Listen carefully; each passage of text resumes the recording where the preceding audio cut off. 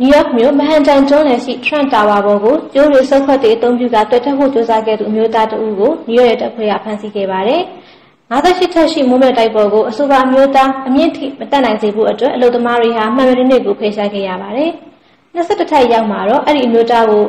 ရဲရရှိတွေကအဆောက်အုံနဲ့ဆွတ်တင်နိုင်ခဲ့တယ်လို့သိရပါတယ်။အဲ့ဒီအဆောက်အုံဟာ Republican သမ္မတလောင်းဒေါ်နယ်ထရန့်ရဲ့ American သမ္မတရွေးကောက်ပွဲလှုပ်ဆောင်မှုတွေအတွက်ရုံးချုပ်ဖြစ်တယ်လို့ ထရန့်ဟာအဲ့ဒီဆောင်မှာနေထိုင်ပေမဲ့လည်းနယူးယောက်မှာရှိမနေခဲ့ဘူးလို့သိရပါတယ်။တာဝါကိုတွေ့တက်ခဲ့တဲ့အသက်20အရွယ်ဗာဂျီးနီးယားမျိုးသားဟာမစ္စတာထရန့်နဲ့တွေ့ဆုံလိုတာကြောင့်အခုလိုတွေ့တက်ခဲ့တာဖြစ်တယ်လို့ရဲတပ်ဖွဲ့ကဖော်ပြခဲ့ပါတယ်။အဲ့ဒီမျိုးသားဟာလွန်ခဲ့တဲ့တစ်ပတ်က YouTube မှာတင်ခဲ့တဲ့ဗီဒီယိုတွေသူ့ကိုသူဘယ်ဖွဲ့စည်းရမှာမဟုတ်တဲ့အလွတ်တုတေတီတဦးအနေနဲ့ဖော်ပြခဲ့ပြီးမစ္စတာထရန့်ထံအရေးကြီးတဲ့သတင်းစကားတစ်ခုပေးပို့လိုတယ်လို့ဖော်ပြခဲ့ပါတယ်။ စိတ်အခြေအနေစစ်ဆေးမှုတွေလှုပ်ဆောင်မှုအဲ့ဒီမျိုးသားကို Bellevue ဆေးရုံပို့ဆောင်ထားတယ်လို့ရဲတပ်ဖွဲ့ကပြောကြား BBC သတင်းမှာဖော်ပြထားပါတယ်။ကျွန်မပြူပြူဆွေပါ။